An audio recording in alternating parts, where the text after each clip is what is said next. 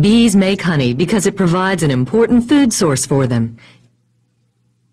In order to produce honey, bees must gather a sweet liquid called nectar from flowers. A worker bee flies to a flower and sucks up the nectar with its long tongue. The tongue is a flexible tube on the outside of the bee's head.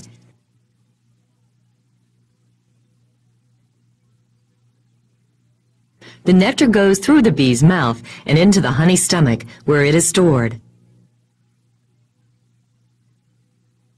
The honey stomach is located in the bee's abdomen.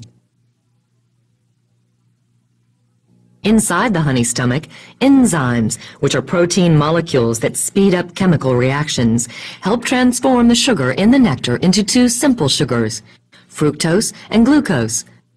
This process is called inversion. The worker bee stores nectar in its hive. It regurgitates or spits up the inverted nectar back through its mouth. It either gives the nectar to other bees or puts it in empty, six-sided compartments called cells. Bees then put wax caps on the cells to seal them. The warmth of the beehive causes water in the nectar to evaporate.